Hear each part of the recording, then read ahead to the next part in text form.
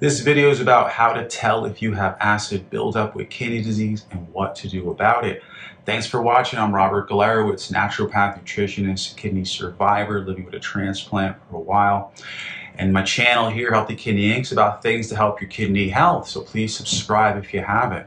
Now, how to tell if you have acid buildup in kidney disease. One of the problems when the kidneys don't work right, kidneys don't clear out the acid and acid builds up. It can lead to an issue called metabolic acidosis, acidosis. Now first, to tell if you have this, you need to get a copy of your blood work, okay, because it's going to be in your blood work. Now get a copy because you want to get that copy and look for yourself because it's estimated that only about 25 to 30% of doctors actually uh, recognize this and look for it and treat it. So get a copy.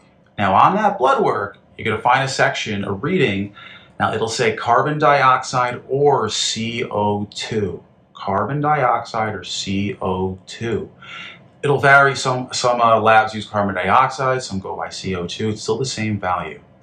Now if that value is 23 or less, okay, you could be considered acidosis and you should use or have a trial run of sodium bicarbonate, okay, which sodium bicarbonate's been known for a long time to be very helpful for kidney issues, especially for acid buildup. It's one of the first things you want to go to and look at. So that's how you tell in your blood work. If you're 17, 18, 19, you're probably going to need quite a bit of sodium bicarbonate.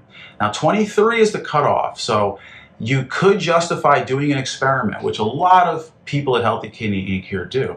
Meaning they see the 23, they're like, okay, I could take a little sodium bicarbonate, whether in supplement, powder form, whatever you're doing, and you can always check the next blood work to see how your creatinine is, GFR, see those CO2 levels again, uh, what they are. So that's a, always a great experiment you can do. If you want to know more about the sodium bicarbonate, how to, how to use that, check out our other videos. We have a lot more about it. But first, find out if you really have the acid buildup. You got to do it through the blood test and you check it through the carbon dioxide and CO2. From there, if you know what's going on, then you know what you can do.